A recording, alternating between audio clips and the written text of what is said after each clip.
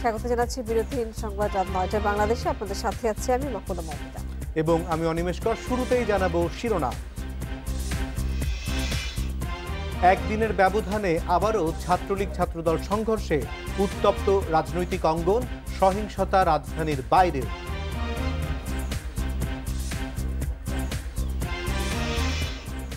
হজ প্যাকেজে আরও উনষাট হাজার টাকা বাড়ানোর সিদ্ধান্ত হজ ফ্লাইট শুরু পাঁচ জুন চলবে তিন জুলাই পর্যন্ত।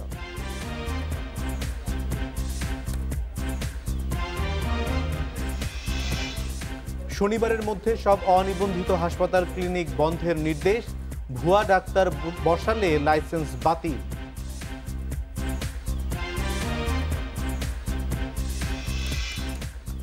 কুমিল্লা সিটি নির্বাচন থেকে সরে দাঁড়ালেন আওয়ামী লীগের বিদ্রোহী প্রার্থী মাসুদ পারভেজ। প্রতীক বরাদ্দ কাল।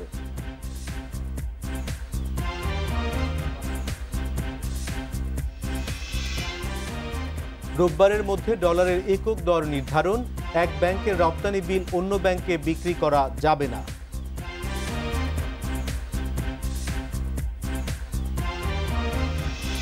শুনছিলেন শিরোনাম, এবার জানাব বিস্তারিত। একদিনের ব্যবধানে আবারও ছাত্রলীগ ছাত্রদলের সংঘর্ষ। ধাওয়া, পাল্টা ধাওয়ায় উত্তপ্ত ঢাকা বিশ্ববিদ্যালয় ও হাইকোর্ট এলাকা। বৃহস্পতিবার দুপুরের এই সংঘর্ষে আহত হয়েছে অন্তত বিশ জন। এদিকে সংঘর্ষের ঘটনায় একজনকে আটক করেছে শাহবাগ থানা পুলিশ। হাইকোর্টের মোড় থেকে দুপুর বারোটায় ছাত্র দলের বিক্ষোভ মিছিল ঢাকা বিশ্ববিদ্যালয়ে প্রবেশ করতে গেলে কার্জন হলের সামনে ছাত্রলীগের সঙ্গে সংঘর্ষ বাধে। প্রায় বিশ মিনিট ধরে চলে ধাওয়া পাল্টা ধাওয়া। এক পর্যায়ে ছাত্র দলের নেতাকর্মীরা হাইকোর্টের ভেতরে চলে যায়। ছাত্র দলের দাবি, পূর্ব ঘোষিত প্রতিবাদ কর্মসূচিতে ছাত্রলীগ হামলা চালিয়েছে। হাইকোর্টের ভেতরেও নেতাকর্মীদের পেটানো হয়। আমাদের পূর্ব ঘোষিত কর্মসূচিতে কর্মসূচিকে লক্ষ্য করি রড হকি স্টিক এগুলো এবং দেশীয় অস্ত্র নিয়ে আমাদের উপর হামলা করে। আমাদের অনেক নেতাকর্মী আহত হয়েছে। ছাত্রলীগ বলছে ক্যাম্পাসকে অস্থিতিশীল করতে চায় ছাত্রদল। তাদের অসৎ উদ্দেশ্য প্রতিহত করা হয়েছে। ঢাকা বিশ্ববিদ্যালয় যে সুন্দর পরিবেশ বিরাজ করছে সেই পরিবেশকে নষ্ট করার জন্য তারা শিক্ষার পরিবেশকে নষ্ট করার জন্য এই ক্যাম্পাসে এসে তারা বিভিন্ন রকমের সন্ত্রাস কার্যক্রম করার চেষ্টা করেছে যার কারণে সাধারণ শিক্ষার্থীরাই ঐক্যবদ্ধ হয়ে আজকে এই প্রতিরোধ গড়ে তোলে। বিশ্ববিদ্যালয় কর্তৃপক্ষ বলছে ক্যাম্পাসকে অস্থিতিশীল করতে চাইলে কাউকেই ছাড় দেয়া হবে না। পড়াশোনার পরিবেশ ঠিক রাখতে সবাইকে সচেতন থাকতে হবে। এই সকল অসৎ উদ্দেশ্য দমন করার লক্ষ্যেই আইন আছে দেশে। আইনকারী সংস্থাকে দায়িত্ব দেওয়া হয়েছে। প্রচলিত আইনে ব্যবস্থা চলবে। কোনো শিক্ষার্থীর সংশ্লিষ্ট যদি আইনগত প্রসিদ্ধি বিশ্ববিদ্যালয় বিশ্ববিদ্যালয়ের মতো করে ব্যবস্থা গ্রহণ করবে। মঙ্গলবারের ছাত্রলীগ ছাত্র দলের সংঘর্ষের ঘটনায় এরই মধ্যে অজ্ঞাত চারশো জনকে আসামি করে মামলা করেছে বিশ্ববিদ্যালয় প্রশাসন। Nure Alam Independent News Dhaka.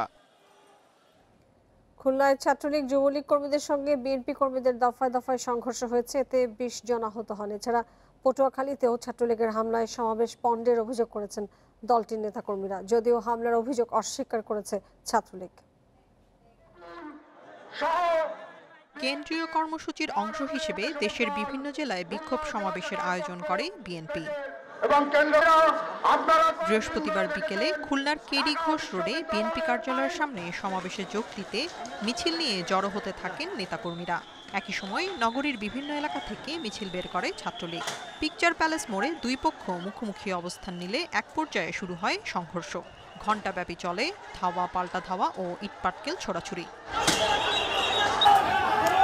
পটুয়াখালীর বনানী এলাকায় বিএনপির বিক্ষোভ সমাবেশে হামলা চালায় ছাত্রলীগ। দফায় দফায় দুই পক্ষের মধ্যে চলে সংঘর্ষ। বিএনপি নেতাদের অভিযোগ হামলা চালিয়ে শান্তিপূর্ণ প্রতিবাদ কর্মসূচি পণ্ড করে দেয় ছাত্রলীগ। সংসদ বিরোধী রাজনীতি সব কিছুই তারা এখানে করতে চায়। কাজে এসব থেকে আমাদেরকে সবাইকে ঐক্যবদ্ধ হতে হবে। এর বিরুদ্ধে সত্যিকারভাবে মানুষ সব রাজনৈতিক দল প্ল্যাটফর্ম এক হয়ে যাবে এবং ইনশাল্লাহ এর বিরুদ্ধে প্রতিবাদ সহ জনগণ মানিকগঞ্জে পুলিশি বাধা উপেক্ষা করে আইনজীবী ভবনের সামনে থেকে প্রতিবাদ মিছিল ও সমাবেশ করে দলের নেতাকর্মীরা। এছাড়া নওগাঁ, মাগুরা ও সিরাজগঞ্জে বিক্ষোভ সমাবেশ করেছে জেলা BNP. Tania Nasrin independent news. Padma সেতু নিয়ে নয়, বরং মেগা প্রকল্পের দুর্নীতি নিয়ে বিএনপির গায়ে জ্বালা বলে মন্তব্য করেছেন দলটির মহাসচিব মির্জা ফখরুল ইসলাম আলমগীর। দুর্নীতি ও দুঃশাসন দেশকে গ্রাস করেছে বলেও দাবি তার। এর প্রতিক্রিয়ায় আওয়ামী লীগের সাধারণ সম্পাদক ওবায়দুল কাদের বলেছেন বিএনপি নেতাদের এমন কথায় মানুষ হাসে কারণ তাদের আমলেই এসবের রেকর্ড ছিল। বৃহস্পতিবার রাজধানীতে আলাদা অনুষ্ঠানে এসব কথা বলেন দুই নেতা। পদ্মা সেতু নির্মাণের শুরু থেকেই বিএনপি নেতাদের বক্তব্য নিয়ে হচ্ছে সমালোচনা। সেতুটি উদ্বোধনের আগ মুহূর্তেও নানা বক্তব্য দিচ্ছেন ক্ষমতাসীন দলের নেতারা। পদ্মা সেতু হয়ে গেছে। সারা বাংলার মানুষ খুশি। আর বিএনপি এবং তার দোসরদের বুকে বড় জ্বালা। বৃহস্পতিবার রাজধানীর গুলশানে এক অনুষ্ঠানে এসব বক্তব্যের জবাব দেন বিএনপি মহাসচিব মির্জা ফখরুল ইসলাম আলমগীর। আমাদের গায়ে তো জ্বালা হচ্ছে। গায়ে জ্বালা হচ্ছে পদ্মা সেতু হচ্ছে বলে নয়। আমাদের গায়ে জ্বালা হচ্ছে যে পদ্মা সেতু থেকে হাজার হাজার কোটি টাকা লুট করে তোমরা বিদেশে সম্পদ করছ। এখানেই আমাদের গায়ে জ্বালা করছে। কারণ এটা আমাদের টাকা আমাদের কষ্টার্জিত টাকা এবং সমস্ত মেগা প্রজেক্টগুলো তোমরা এভাবেই করছ। এর প্রতিক্রিয়ায় সচিবালয়ে এক ব্রিফিংয়ে আওয়ামী লীগের সাধারণ সম্পাদক বলছেন বিএনপি নেতাদের মুখে দুর্নীতি নিয়ে কথা মানায় না। ক্ষমতায় যেতে বিএনপি চোরাগলি খুঁজে বেড়াচ্ছে বলেও মন্তব্য করেন তিনি। বিএনপি মহাসচিব এখনও সব কাল্পনিক অভিযোগ করে যাচ্ছেন। দুঃশাসনের কথা যখন বিএনপি বলে, তখন দেশের মানুষ হাসে। দেশের মানুষ বিএনপির সেই অপশাসনে, দুঃশাসনে আর ফিরে যেতে চায় না। জনগণ এখন বুঝে গিয়েছে, বিএনপির নেতিবাচক রাজনীতি বিএনপিকে গ্রাস করে ফেলেছে। বিএনপি যদি দাবি আদায়ের নামে আবারও সহিংসতা শুরু করে আওয়ামী লীগ তা রাজপথে মোকাবেলায় প্রস্তুত বলেও হুঁশিয়ারি করেন ওবায়দুল কাদের। Mahmud Sharif independent news Dhaka. মোকাবিলা করতে ডক্টর হাসান মাহমুদ বলেছেন জনগণের প্রত্যাশা অনুযায়ী খালেদা জিয়াকে আবার জেলে পাঠানো উচিত। বৃহস্পতিবার ডিআরইউ এর সাতাশতম প্রতিষ্ঠা বার্ষিকীর উদ্বোধনী অনুষ্ঠানে সাংবাদিকদের প্রশ্নের জবাবে এই মন্তব্য করেছেন তথ্যমন্ত্রী। তথ্যমন্ত্রী বলেন, একুশে আগস্ট খালেদা জিয়া পরিকল্পিতভাবে গ্রেনেড হামলা করে শেখ হাসিনাকে হত্যা করতে চেয়েছিলেন। দণ্ড পাওয়া আসামি হওয়া সত্ত্বেও সেই খালেদা জিয়াকে মুক্ত রাখা হয়েছে। তার দল এখন আন্দোলন সংগ্রামের নামে দেশে আবার অরাজক পরিস্থিতি সৃষ্টি করতে চাচ্ছে। তার প্রতি মাননীয় প্রধানমন্ত্রী যে মহানুভবতা দেখিয়েছেন, দেখিয়ে যাচ্ছেন, সেটি এখন অনেকে প্রশ্ন করছেন, যারা এই মহানুভবতার যারা মূল্য দিতে জানে না, তাদের প্রতি এই মহানুভবতা কেন? মাননীয় প্রধানমন্ত্রী কেন দেখাচ্ছেন?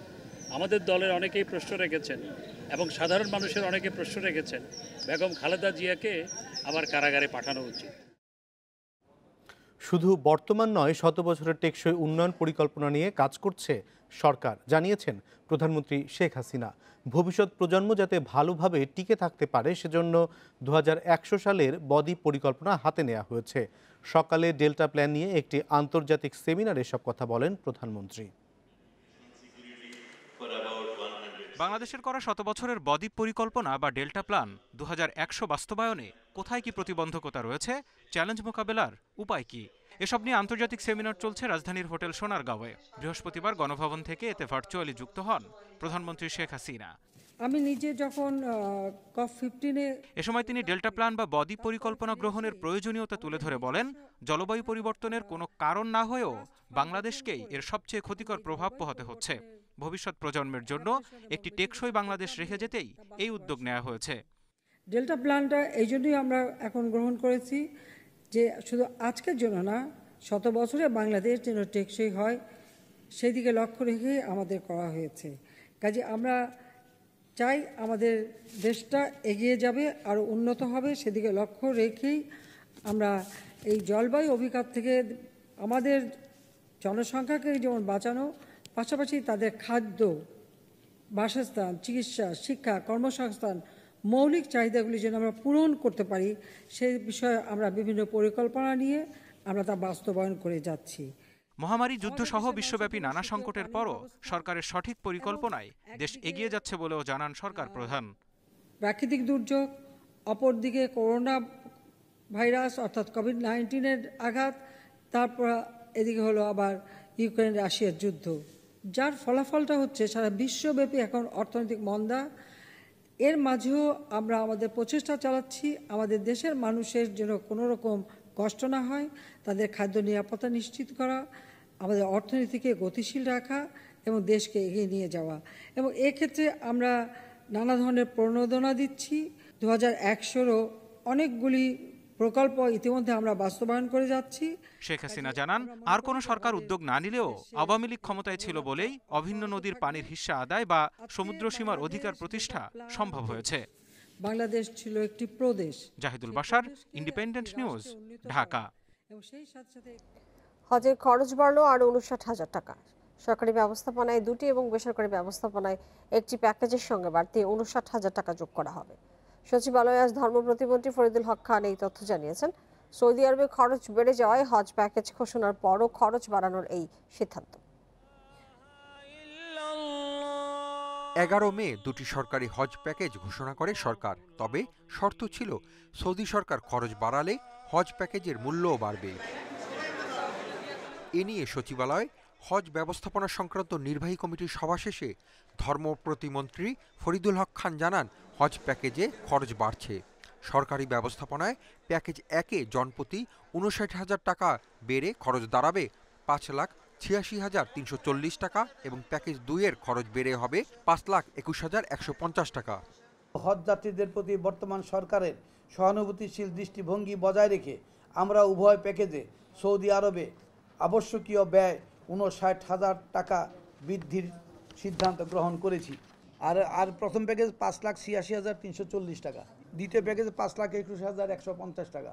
হজ এজেন্সিস অ্যাসোসিয়েশন অব বাংলাদেশ হাবও খরচ বাড়ানোর সিদ্ধান্ত মেনে নিয়ে বেসরকারি ব্যবস্থাপনায় চার লাখ তেষট্টি হাজার সাতশো চুয়াল্লিশ টাকার হজ প্যাকেজের সঙ্গে উনষাট হাজার টাকা যোগ করে পাঁচ লাখ বাইশ হাজার সাতশো চুয়াল্লিশ টাকা খরচের সর্বনিম্ন প্যাকেজ ঘোষণা করে। অন্যান্য যে খাতগুলি এখানে ধরা হয়েছে সেই খাতগুলি থেকে খরচের বাকি যেটাই লাগবে সেটা ধর্ম মন্ত্রণালয় সরকারি হজযাত্রীদের ক্ষেত্রে এবং বেসরকারি হজযাত্রীদের ক্ষেত্রে স্ব স্ব এজেন্সি সমন্বয় করবেন। সেই নিরিখে বর্তমানে বেসরকারি এজেন্সিদের সর্বনিম্ন প্যাকেজের প্রাইস হচ্ছে পাঁচ লক্ষ বাইশ হাজার সাতশো চুয়াল্লিশ টাকা। আঠাশ উনত্রিশ ও তিরিশ মে বাড়তি টাকা নেবে সরকার। পাঁচ জুন থেকে হজ ফ্লাইট শুরু হয়ে শেষ হবে তিন জুলাই। আর ফিরতি ফ্লাইট চোদ্দ জুলাই শুরু হয়ে শেষ হবে চোদ্দ August. Hasif Mahmud Shah, independent news, Dhaka. Comilla city নির্বাচনে মনোনয়নপত্র প্রত্যাহারের শেষ দিনে এক মেয়র প্রার্থী সহ তেরো জন মনোনয়ন প্রত্যাহার করেছেন। বিকেলে মেয়র পদের প্রার্থিতা প্রত্যাহার করেন আওয়ামী লীগের বিদ্রোহী প্রার্থী মাসুদ পারভেজ খান। ইমরান এছাড়াও সংরক্ষিত ওয়ার্ড থেকে দুইজন এবং সাধারণ কাউন্সিলরের পদ থেকে জন মনোনয়নপত্র প্রত্যাহার করেন। রিটার্নিং কর্মকর্তা শাহিদুল নবী চৌধুরী জানান, সিটি নির্বাচনে মনোনয়নপত্র জমা দিয়েছিলেন একশো চৌষট্টি জন। তেরো প্রার্থী মনোনয়নপত্র প্রত্যাহার করে নেওয়ার পর মেয়র পদে পাঁচজন, কাউন্সিলর পদে সংরক্ষিত ওয়ার্ড থেকে ছত্রিশ জন এবং সাধারণ ওয়ার্ড থেকে একশো ছয় জন নির্বাচনে প্রতিদ্বন্দ্বিতা করবেন। শুক্রবার প্রার্থীদের মধ্যে প্রতীক বরাদ্দ দেওয়া হবে।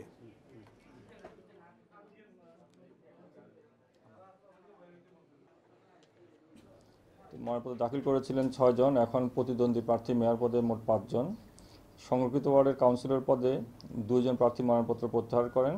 এখন প্রতিদ্বন্দ্বী প্রার্থীর সংখ্যা নয়টা, ওয়ার্ডে ছত্রিশ জন। আর সাধারণ ওয়ার্ডের কাউন্সিলর পদে মোট দশজন প্রার্থী মনোনয়নপত্র প্রত্যাহার করেন।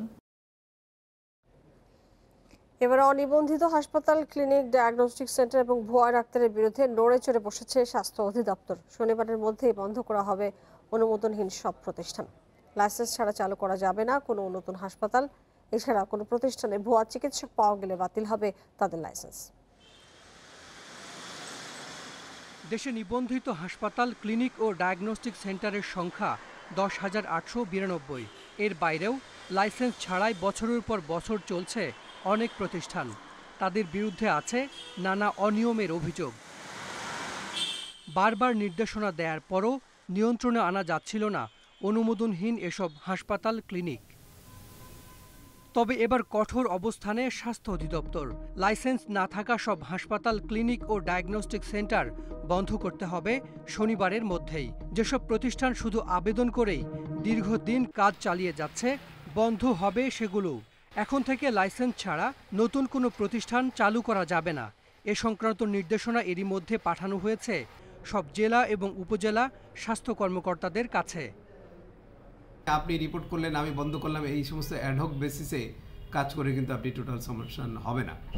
যে কোনো আমার যেটা মনে হয়েছে যে, আমরা সিস্টেমেটিক অ্যাপ্রোচ করব, তাহলে টোটাল সিস্টেম যদি কার্যকর হয়, তাহলে এই ধরনের ঘটনাগুলি ঘটবে না এবং পুরো হেলথ সিস্টেমেরই একটা রিফর্ম দরকার, জনমুখী চিকিৎসা সেবার জন্য। As a part of that এটা আমি শুরু করেছি। হোপফুলি আরও নতুন নতুন যে ব্যবস্থাগুলো, সেগুলো অচিরেই চালু হবে। অভিযোগ রয়েছে, বিভিন্ন হাসপাতাল, ক্লিনিক ও ডায়াগনস্টিক সেন্টারে রোগী দেখছেন কয়েক হাজার ভুয়া চিকিৎসক। এদের অনেকেই নিয়মিত অপারেশনও করছেন। এখন থেকে কোনো হাসপাতাল, ক্লিনিকে এ ধরনের প্রতারক ধরা পড়লে বাতিল হবে ওই প্রতিষ্ঠানের লাইসেন্স। রেজিস্ট্রেশন ছাড়া কোনো ডক্টরকে, যে ধরেন যে কথাটা খুব সহজে বলে, যে ভুয়া ডাক্তার বলে, এরকম কাউকে যদি বসান, তাহলে সেই হাসপাতালের লাইসেন্স বাতিল করবার জন্য আমরা নির্দেশ দিয়েছি। কারণ হি ইজ ইকুয়ালি রেসপন্সিবল কারণ আপনি যেই প্রতিষ্ঠানটা কাজ করছে, সেই প্রতিষ্ঠান যদি তার লাইসেন্স চেক না করে বসায় এবং সেটার জন্য যদি জনগণের অপচিকিৎসা হয়, তাহলে সে কিন্তু দায়ভার কিন্তু এড়াতে পারে না।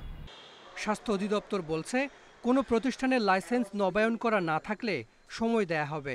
তবে নির্দিষ্ট সময়ের মধ্যে তা না করলে বন্ধ করে দেয়া হবে কার্যক্রম। Hasan Misba independent news Dhaka. সাভারে নিবন্ধন না থাকায় দুটি ক্লিনিক সিলগালা করেছে স্বাস্থ্য বিভাগ। এছাড়া আরও দুটি ক্লিনিকের কাগজপত্রের ত্রুটি ঠিক করতে দুদিনের সময় বেঁধে দেওয়া হয়েছে। দুপুর থেকে বিকাল পর্যন্ত উপজেলা স্বাস্থ্য কর্মকর্তা ডাক্তার সাইমুল হুদার নেতৃত্বে ভ্রাম্যমাণ আদালত হাসপাতালগুলোতে অভিযান চালায়। এ সময় লাইসেন্স না থাকায় সাভার জেনারেল হাসপাতাল ও মুক্তি ক্লিনিক নামে দুটি ক্লিনিককে সিলগালা করে দেওয়া হয়। স্বাস্থ্য অধিদপ্তরের নির্দেশ মোতাবেক বাহাত্তর ঘণ্টার মধ্যে সাভারের সব অনিবন্ধিত ক্লিনিক বন্ধ করে দেয়া হবে বলে জানান উপজেলা স্বাস্থ্য কর্মকর্তা। আমাদের স্পষ্ট নির্দেশনা রয়েছে সাভার উপজেলার যে সকল হাসপাতালে নিবন্ধন নেই সেই সকল হাসপাতালে আমরা সিলগাল করে দিচ্ছি এবং তাৎক্ষণিক তাদের সকল কার্যক্রম আমরা বন্ধ করে দিচ্ছি। আর যারা আবেদন করেছে কিন্তু এখনও নিবন্ধন পায় নাই তাদেরকে আমরা হয়তো সময় দিয়ে দিব বেঁধে যে এর মধ্যে তারা করতে হবে। পাঁচ হাজার কোটি টাকা বিদেশে পাচারের অভিযোগে রাজকের অ্যাস্টেট শাখার কয়েকজন কর্মকর্তার নামে অনুসন্ধান শুরু করেছে দুর্নীতি দমন কমিশন দুদক। তবে অনুসন্ধানের স্বার্থে এখনই এইসব কর্মকর্তাদের নাম প্রকাশ করতে রাজি নয় সংস্থাটি। দুদকের কাছে অভিযোগ এসেছে, ঘুষ নিয়ে অবৈধভাবে পূর্বাচল কনভেনশন লিমিটেড বরাদ্দ দেওয়া হয়েছে। সৈয়দ ফেরদৌসি আলম নীলা নামে এক নারীর নামে বরাদ্দ দিয়ে নতুন নাম দেওয়া হয়েছে পূর্বাচল নীলা কনভেনশন লিমিটেড। এছাড়া রাজুকের অ্যাস্টেট বিভাগের কয়েকজন কর্মকর্তার বিরুদ্ধে রাজধানীর বিভিন্ন প্রকল্পের প্লট বরাদ্দেরও অভিযোগ রয়েছে। বরাদ্দের পাশাপাশি উচ্ছেদ কার্যক্রমের মাধ্যমেও ঘুষ বাণিজ্য করে এস্টেট বিভাগের এই চক্র। সংঘবদ্ধ দুর্নীতির মাধ্যমে অর্জিত পাঁচ হাজার কোটি টাকা বিদেশে পাচার করা হয়েছে বলে জানায় দুদক।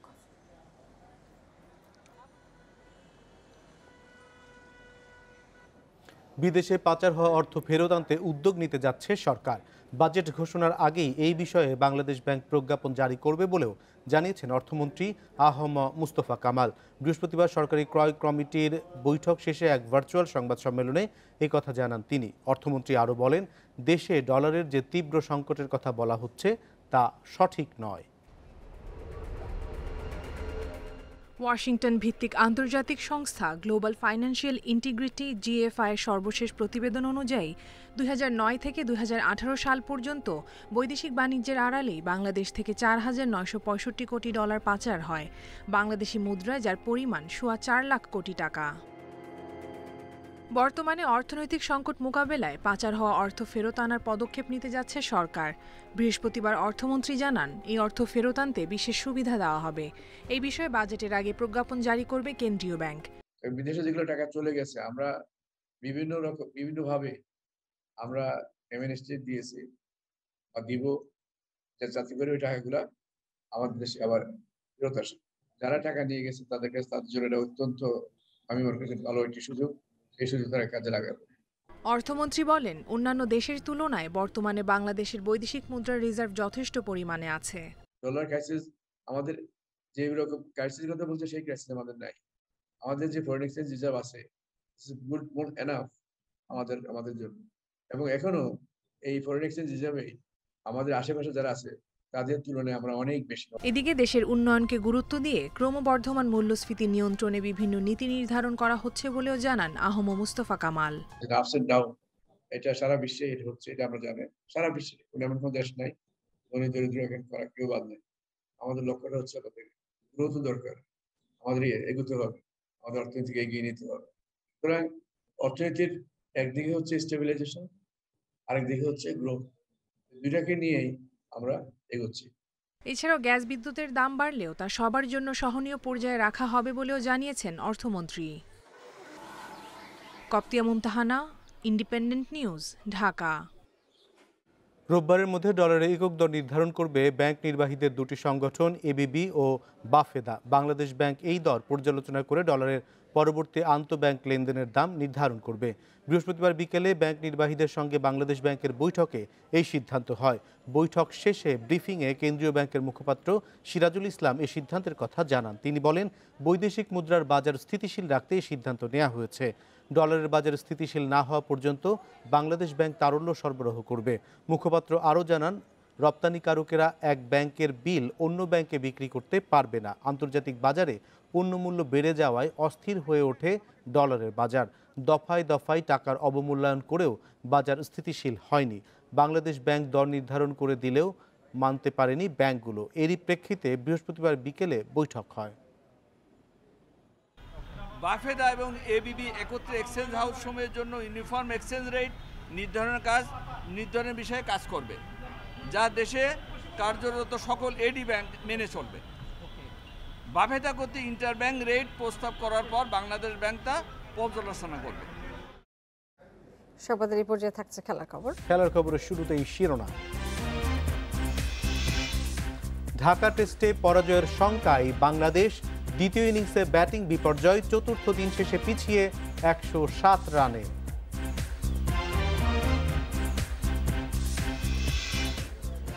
টেস্ট খেলতে মানসিকভাবে পিছিয়ে বাংলাদেশ। ঠিক আছে, শারীরিক ফিটনেস, ঢাকা টেস্টের চতুর্থ দিন শেষে সাকিব।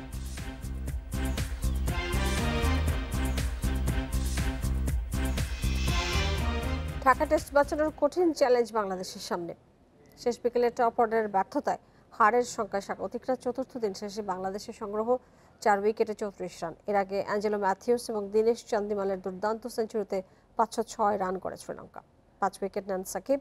ইবাদতের শিকার চারটি। এ যেন প্রথম ইনিংসের অ্যাকশন রিপ্লে। ব্যর্থতার বৃত্ত থেকে বের হতে পারেনি টপ অর্ডার। উইকেট ছুড়ে এসেছেন তামিম জোড়া শূন্য টাইগার ওপেনারের। টেস্ট ধৈর্যের খেলা এটাই ভুলে গেছেন শান্ত। দ্রুত রান নেয়ার ভূত তারা করেছে ওকে। আউট অফ ফর্মে আছেন মমিনুল নিজ মুখে স্বীকার না করলেও ব্যাট বলছে সেই কথা। টেস্ট ওপেনার হিসেবে নিজের জায়গা প্রশ্নবিদ্ধ করেছেন মাহমুদুল জয়। তেইশ রানে চার উইকেট হারিয়ে হারের সংখ্যায় স্বাগতিকেরা। আবারও হাল ধরেছেন মুশফিক লিটন জুটি। তবে পঞ্চম দিন কাটিয়ে দেওয়া স্বপ্ন বাড়াবাড়ি কি নয়। ঢাকা টেস্ট বাঁচাতে ওদের খেলতে হবে লম্বা ইনিংস। সাকিব সৈকতদের কাঁধেও যে টেস্ট বাঁচানোর চ্যালেঞ্জ। এর আগে চতুর্থ দিনের দুই সেশনে উইকেট আদায় করতে ব্যর্থ বোলাররা। শেরে বাংলার পরিচিত উইকেট অবাক করেছে স্বাগতিকদের। সকালের সেশনেই ম্যাথিউস চান্দিমাল জুটিতে লিড নেয় লঙ্কানরা। দ্বিতীয় সেশনে আরও বেশি আগ্রাসী লঙ্কানরা। ভাগ্যও সঙ্গী হয়েছে ওদের।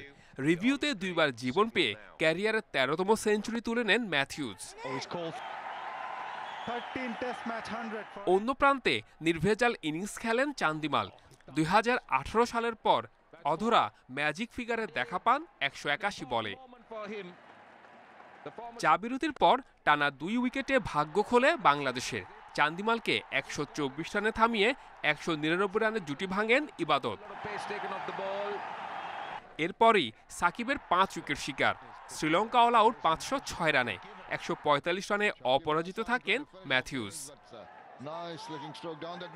Saiful Majumder, independent news. প্রথম ইনিংসে পঁচিশ রানে পড়েছিল পাঁচ উইকেট। দ্বিতীয় ইনিংসে তেইশ রানে পড়ল চারটি। টপ অর্ডারে টপাটপ উইকেট হারানো এখন নিয়মিত চিত্র টাইগার ক্রিকেটে। অধিনায়ক মমিনুলের হতশ্রী পারফরমেন্স দলকে চাপে ফেলেছে প্রায় প্রতি ম্যাচেই। তরুণ মাহমুদুল শান্তরাও ধারাবাহিকতার অভাবে ভুগছেন।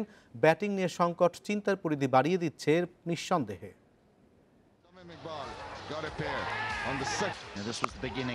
বিকেলের সেশনে ভয়ঙ্কর অভিজ্ঞতা নতুন নয়। মিরপুরে প্রথম ইনিংসের রেশ দ্বিতীয় ইনিংসেও থাকল। প্রথম চার ব্যাটার দেখালেন কি করে বিপদে পড়তে হয়। একসঙ্গে উইকেট হারানোর প্রবণতা যেন সারার নয়। আগের দিন ওটা নিয়ে চিন্তার কথাই সামনে এনেছিলেন জেমি think এখনও একসঙ্গে উইকেট হারানোর প্রবণতা রয়ে গেছে। এই দিকটাতে কোনো বদল আসেনি। এটা অগ্রহণযোগ্য। কিছু মানসিক ও কৌশলগত পরিবর্তন আনলেই আমরা দ্রুত পরিবর্তন দেখতে পাবো. মুমিনুলের কি করুণ অবস্থা? ফুটওয়ার্ক অ্যাপ্রোচ সবখানেই গলদ। ব্যাটিংটাই যেন ভুলে বসেছেন টেস্ট অধিনায়ক। ঘরে বাইরে পেস কিংবা স্পিন সবখানেই ভুগছেন। দলকে বিপদে ফেলে দিচ্ছেন বারে বারে। দুই অঙ্কের স্কোরই এখন সোনার হরিণ মমিনুলের কাছে। ব্যর্থতার বৃত্ত বড় হচ্ছে দিনে দিনে। গত সাত ইনিংসে শুধু সমালোচনায় জুটেছে। অধিনায়ক কোটায় টিকে থাকা নিয়ে যে প্রশ্ন, তার জবাব দিবে কে? খারাপ খেললে তো জায়গা ছেড়ে দিবেন বলেছিলেন কদিন আগেই। আমার কাছে মনে হয় যে আমি বাংলাদেশ টিমে ভালো খেললে বাংলাদেশ টিমে থাকব, খারাপ খেলে বাংলাদেশ টিমে হেরে ওপেনার মাহমুদুল হাসান জয়কে নিয়ে বড় আশা সত্যি, কিন্তু নতুন বলে তার সংগ্রাম চোখে লাগছে প্রায় প্রতি ম্যাচে। দশ ইনিংসে এক সেঞ্চুরি, দুই ফিফটি বাদ দিলে বাকিটা শুধুই হতাশার। চারটায় শূন্য, দুইটা এক অঙ্কের স্কোর। ওয়ানডে টি টোয়েন্টিতে বাদ পড়লেও টেস্টে কেন যেন অটো চয়েস হয়ে আছেন নাজমুল শান্ত। তার অবস্থাও সুবিধার নয়।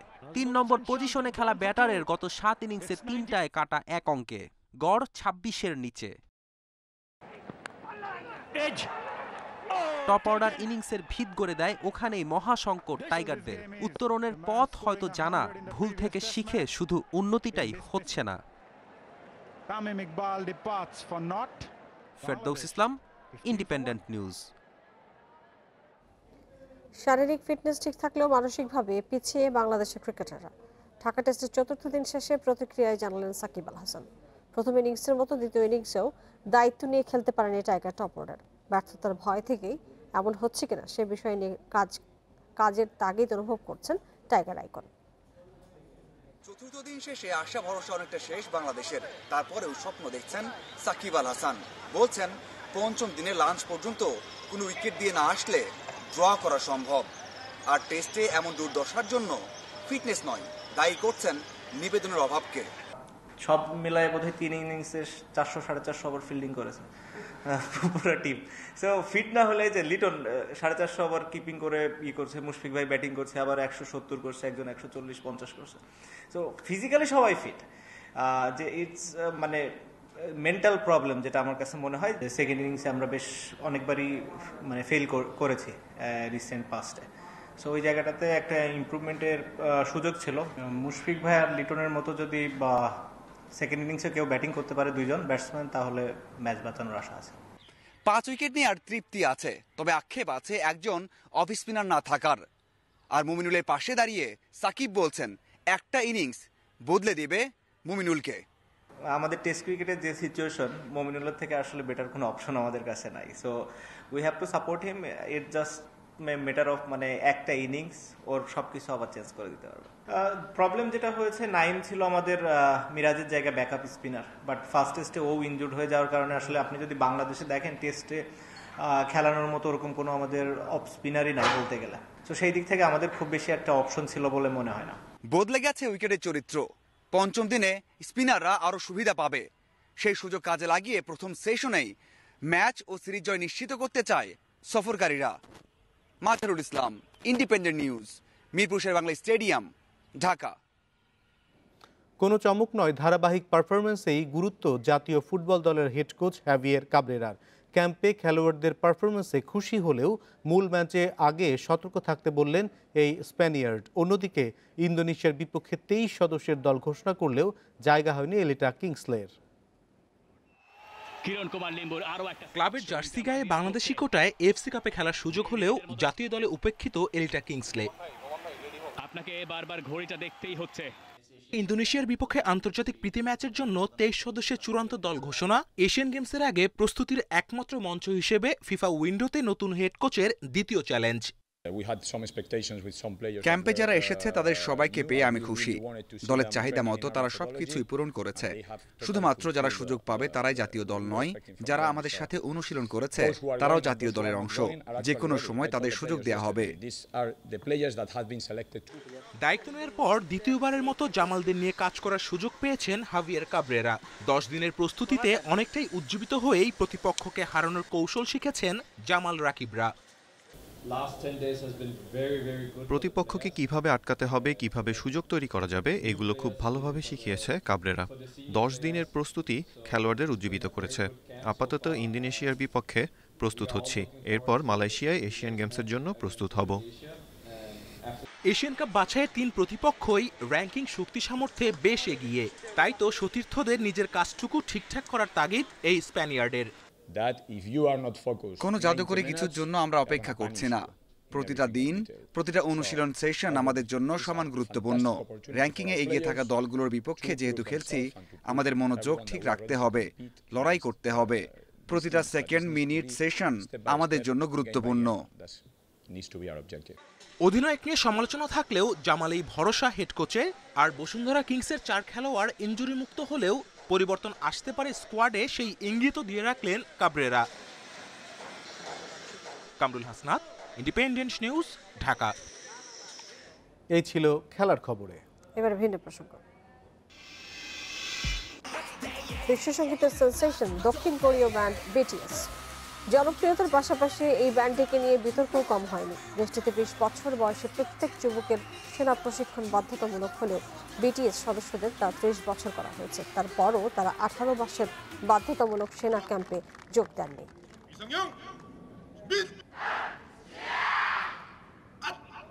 임지경 중령의 지휘 아래 특전 용사 300여 등 4명이 참가하고 있습니다. আর এনি প্রতিবেদন থাকছে সংবাদের পরের অংশে। চলে যাচ্ছে পরের খবরটিতে। প্রকৌশলী সুব্রত সাহাকে অফিসের কাজ নিয়ে বিরোধী সহকর্মীরা হত্যা করেছে বলে দাবি তার স্বজনদের। বিএসএল এর চিফ ইঞ্জিনিয়ার এবং ম্যানেজারকে আসামি করে হত্যা মামলাও করেছেন তারা, তবে এই অভিযোগ অস্বীকার করেছে বিএসএল কর্তৃপক্ষ। এদিকে বিষয়টি খতিয়ে দেখতে সিসিটিভি ফুটেজ পর্যালোচনা করছে পুলিশ। ইন্টারকন্টিনেন্টাল হোটেলের সিসিটিভি ফুটেজে দেখা যাচ্ছে, বুধবার সকাল নয়টা আঠারো মিনিটে হোটেলে ঢুকে আর্চওয়ে পেরিয়ে লবি হয়ে লিফটের কাছে যান সুব্রত। পরে লিফট থেকে নামেন এগারো তলায়, করিডোর হয়ে সিঁড়ি দিয়ে উঠে যান ছাদে। সকাল সাড়ে দশটায় দোতলার লোনে সুব্রতর মরদেহ দেখতে পায় কর্তৃপক্ষ। পরিবারের অভিযোগ, মরদেহ উদ্ধারের দুই ঘণ্টা পর এ খবর জানানো হয় তাদের। তাদের দাবি অফিসের কাজ নিয়ে বিরোধের জেরে তাকে পরিকল্পিতভাবে হত্যা করা হয়েছে। এর সঙ্গে জড়িত বিএসএল এর প্রধান প্রকৌশলী আশরাফুর রহিম ও ম্যানেজার আজিজার রহমান সহ কয়েকজন। মৃত্যুটা স্বাভাবিক না। স্বাভাবিক মৃত্যু আর এ হইতো না। আবার সে সিট হয়েছিল মাথা নিচে গেছিল এবং মাথা ঠিক আছে। মুখ ফ্রেশ ঠিক আছে। আর স্বাগতম বলো তো তার মুখে ঘি ভাইতো না। তবে বিএসএল কর্তৃপক্ষের দাবি দুই সালের অক্টোবরে সুব্রতকে সবশেষ কাজ দেয়া হয়েছিল। সেটিও তিনি শেষ করেননি। তাকে জোর করে কাজ করানো হচ্ছিল না জানিয়ে অফিসে বিরোধের অভিযোগ নাকচ করেছে তারা। আমরা একটা চিঠি পেয়েছি সেখানে উনি মানে মানে মন্তব্য করেছেন যে তার বেশি শেষের হাতছাড়া হয়ে গিয়েছে বা তার অজান্তে আর কি এগুলো চিঠি আমি দেখেছি। কাজের চাপ কথাটা আসলে কত সত্যি সেটা আসলে সাপেক্ষ। এদিকে পুলিশ বলছে, সিসিটিভি ক্যামেরার ফুটেজ বিশ্লেষণ ও সুব্রতর সহকর্মীদের জিজ্ঞাসাবাদ করে ঘটনার রহস্য উদ্ঘাটনের চেষ্টা চলছে। এই ঘটনাটি হত্যা না আত্মহত্যা এইটাকে আগে কনফার্ম হতে হবে। সেই কনফার্মের ক্ষেত্রে আমাদের পোস্টমর্টম রিপোর্টটাই আমাদের মুখ্য নিয়ামক হিসেবে কাজ করবে। এর পরবর্তীতে আনুষঙ্গিক যে সকল তথ্য দিই, সেগুলো বিচার বিশ্লেষণ করেই হচ্ছে এই মামলার তদন্ত আগাবে। ঢাকা মেডিকেলে ময়নাতদন্ত শেষে সুব্রতর মরদেহ পরিবারকে হস্তান্তর করা হয়েছে। মৃত্যুর কারণ জানতে চাইলে গোপনীয় বলে এড়িয়ে গেছেন চিকিৎসক। Masudur Rahman independent news Dhaka. অবৈধ গ্যাস সংযোগ ব্যবহারের দায়ে রাজধানীর পশ্চিম রামপুরায় পাঁচটি ভবন ও একটি বেকারিকে প্রায় চার লাখ টাকা জরিমানা করেছে তিতাস। সেই সঙ্গে সব অবৈধ সংযোগ বিচ্ছিন্ন করা হয়েছে। বৃহস্পতিবার ভ্রাম্যমাণ এই আদালত অভিযান চালায়। গত মার্চে গ্যাসের দাম বৃদ্ধি নিয়ে গণশুনানিতে অবৈধ সংযোগ ইস্যুতে সমালোচনার মুখে পড়ে তিতাস। সেদিনই সংস্থাটির ব্যবস্থাপনা পরিচালক জানান, অবৈধ গ্যাস সংযোগ বিচ্ছিন্ন করতে গঠন করা হয়েছে টাস্ক ফোর্স এরপর থেকেই গতিবাড়ে তিতাসের অভিযান। সব অবৈধ সংযোগ বিচ্ছিন্ন না করা পর্যন্ত কামরাঙ্গীচরে গ্যাস সরবরাহ বন্ধ রেখেছে সংস্থাটি। অভিযান চলছে রাজধানীর অন্যান্য এলাকায়ও। বৃহস্পতিবার রামপুরা এলাকায় ভ্রাম্যমাণ আদালত পরিচালনা করা হয়। এ সময় বেশ কয়েকটি ভবনে অবৈধ গ্যাস সংযোগের অস্তিত্ব পাওয়া যায়। নিম্নমানের পাইপ ব্যবহার করে ঝুঁকিপূর্ণভাবে গ্যাস সংযোগ দেওয়া হয়েছে এসব ভবনে। তবে ফ্ল্যাট মালিকরা বলছেন, এর দায় ডেভেলপার কোম্পানির। এটা কোম্পানি থেকেই দিছে। কোম্পানি থেকে না দিলে আমরা দিব কেমনি, করব কেমনি? ওনাদের যখন কানেকশন করল, এই পাইপ দিয়ে তখন আমি কানেকশন করছি। তখন আমি করছি। তখন আমি জিজ্ঞাসা করলাম, ওনাদেরকে বলল যে হ্যাঁ কোম্পানির থেকে যোগাযোগ করে আমরা এটা কানেকশন দিতেছি। তবে আপত্তি শোনেনি তিতাস কর্তৃপক্ষ। সংযোগ বিচ্ছিন্ন করার পাশাপাশি প্রায় চার লাখ টাকা জরিমানা করা হয়। যদি ডেভেলপারের বিরুদ্ধে অ্যাকশনে যাওয়া লাগে তাহলে থানায় রেগুলার মামলা দেওয়া লাগবে। কারণ মোবাইল কোর্ট তো আমাকে সম্মুখে তাদেরকে পাওয়া লাগবে। তাদেরকে হাতে নাতে আমাদেরকে ধরা লাগবে। কিন্তু ডেভেলপার কোম্পানি তো আমাদের সামনে কখনো আসে না তাদেরকে পায়ও না। কিন্তু যারা ইউজ করতেছে তারা তো অপরাধী। তারা তো এটা জেনে শুনে অবৈধভাবে কানেকশনটা তারাই নিয়েছে। হুস পাইপ দিয়ে সংযোগগুলো নিয়েছে। এটা নিঃসন্দেহে কোনো এক্সপার্টের কাজ না। এটা যে কোনো সময় অ্যাক্সিডেন্ট করতে পারে যে কোনো ভয়াবহ দুর্ঘটনা করতে পারে। কোনো জানা ব্যক্তি এই ধরনের কাজ করে না করবেও না এবং এটা তিতাসের ব্যক্তি জড়িত না। অবৈধ সংযোগ স্থাপনে যারই সম্পৃক্ততা পাওয়া যাবে তার বিরুদ্ধেই ব্যবস্থা নেওয়া হবে বলে জানিয়েছে তিতাস। সেই সঙ্গে অভিযান অব্যাহত রাখারও ঘোষণা দিয়েছে সংস্থাটি। Suman Tanvir independent news Dhaka. Libya detention সেন্টারে আটকদের মধ্যে একশো ষাট জন বাংলাদেশি ঢাকায় পৌঁছেছেন। বুরাকিয়ারের একটি ফ্লাইটে করে সকাল সাড়ে ছটার দিকে তারা শাহজালাল আন্তর্জাতিক বিমানবন্দরে পৌঁছান। এর আগে আইওএম এর সহায়তায় বুধবার স্থানীয় সময় বিকেল পৌনে চারটার দিকে লিবিয়ার মেতিকা বিমানবন্দর থেকে রওনা হন আটক একশো ষাট জন বাংলাদেশি। এ সময় বিমানবন্দরে বাংলাদেশের রাষ্ট্রদূত major general S M Shamimuzzaman প্রত্যাবর্তনকারীদের সাথে কথা বলেন এবং বিদায় জানান। এদিকে আইওএম এর সহায়তায় আটক অবশিষ্টদের দ্রুত দেশে ফিরিয়ে আনার জন্য দূতাবাসের পক্ষ থেকে চেষ্টা চলছে। অনুমতি ছাড়া গান ব্যবহারের অভিযোগে মোবাইল ফোন অপারেটর বাংলালিংকের চার কর্মকর্তার বিরুদ্ধে কপিরাইট আইনে করা মামলা প্রত্যাহার করে নিয়েছে নগর বাউল ও মাইলস ব্যান্ড। বৃহস্পতিবার ঢাকার মহানগর দায়রা জজ কে এম ইমুল কায়েসের আদালতে মামলা প্রত্যাহারের আবেদন করে তারা। গত বছরের দশই নভেম্বর বাংলালিংকের বিরুদ্ধে কপিরাইট আইনে দুটি মামলা করেন নগর বাউলের জেমস এবং মাইলসের হামিন আহমেদ। মামলায় হামিন অভিযোগ করেন, তাদের লেখা ও সুর করা নীলা ও ফিরিয়ে দাও গান দুটি। বাংলা লিঙ্কে অনুমতি ছাড়া ব্যবহার করে কোটি কোটি টাকা আয় করে আসছে। এতে তারা আর্থিকভাবে ক্ষতিগ্রস্ত হচ্ছেন। অন্যদিকে জেমসও তার গাওয়া দুঃখিনী দুঃখ করোনা জিকির, লুটপাট, সুস্মিতা ও যার যার ধর্ম গান সম্পর্কেও একই ধরনের অভিযোগ করেন।